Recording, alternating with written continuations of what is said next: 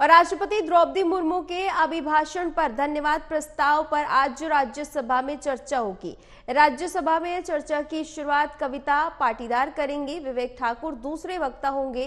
राज्यसभा में चर्चा के लिए 14 घंटे का समय तय किया गया है। बता दें आपको कि पीएम मोदी राज्यसभा में चर्चा का जवाब आज दोपहर दो दो बजे देंगे। इससे पहले प्रधानमंत्री नरेंद्र मोदी ने सोमवार को संसद में राष्ट्रपति के अभिभाषण पर धन्यवाद प्रस्ताव पर लोकसभा में जवाब दिया था।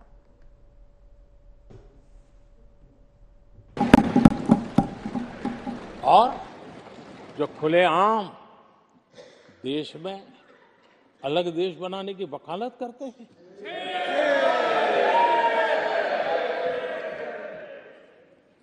जोड़ने की बातें छोड़ो, तोड़ने की कोशिश करिए। अरे आपके अंदर क्या पड़ा हुआ है? क्या इतने टुकड़े करके अभी भी आपके मन को समाधान नहीं हुआ है? देश के इतने टुकड़े कर चुके हो आप। और टुकड़े करना चाहते हो? कब तक करते रहोगे? आदरणीय अध्यक्ष जी, इसी सदन में अगर कश्मीर की बात होती थी तो हमेशा चिंता का स्वर निकलता था।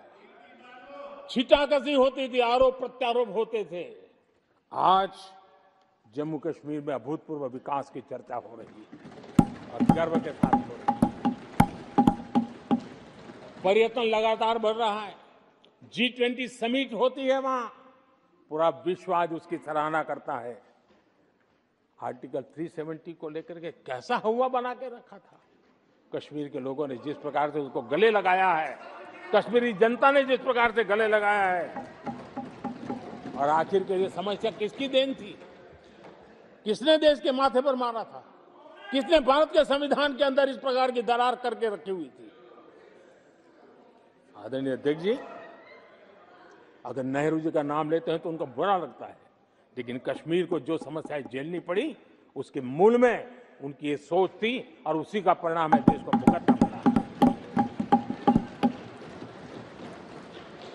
जम्मू कश्मीर के लोगों को, देश के लोगों को नेहरू जी की गलतियों का बहुत बड़ी कीमत चुकानी पड़ी है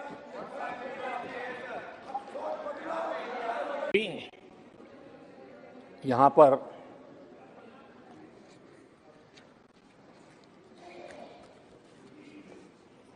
बहुत गुस्सा व्यक्त किया गया। जितना हो सका उतने कठोर शब्द में गुस्सा व्यक्त किया गया। उनका दर्द मैं समझता हूँ। उनकी मुसीबत और ये गुस्सा मैं समझता हूँ। क्योंकि तीर निशाने पर लगा है।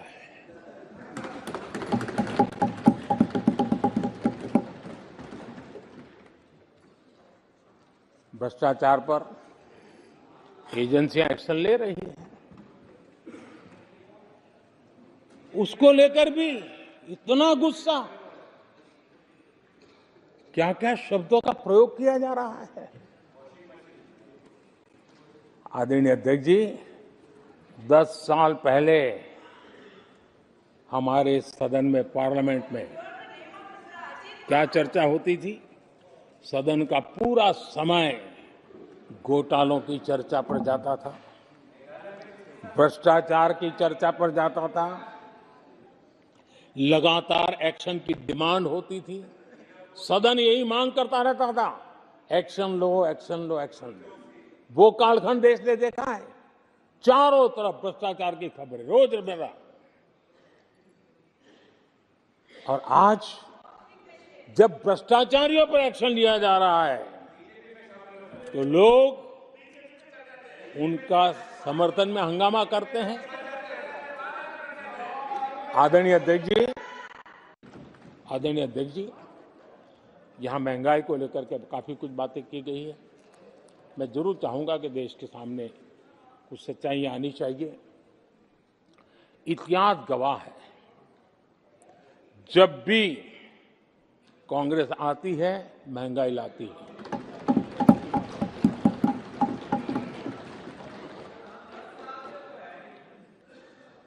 मैं कुछ वक्तव्य इस सदन में आज कहना चाहता हूँ। और किसी की आलोचना करने के लिए नहीं कह रहा हूँ। लेकिन हो सकता है कि हमारी बात जो समझ नहीं पाते हैं, वो अपने लोगों की बात को समझे, समझने का प्रयास करेंगे। कहा गया था कभी,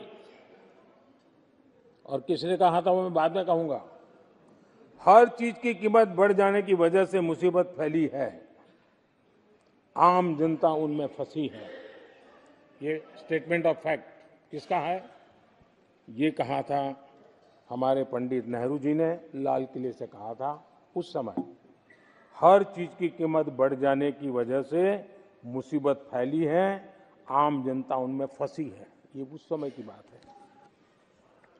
उन्होंने माना था लाल किले से चारों तरफ़ महँगाई बढ़ी है। अब इस वक्तव्य के 10 साल के बाद, नेहरू जी के इस वक्तव्य के 10 साल के बाद, एक और वक्त का कोर्ट आपके सामने रखता हूँ। आप लोग, मैं कोर्ट कोर्ट बता रहा हूँ। आप लोग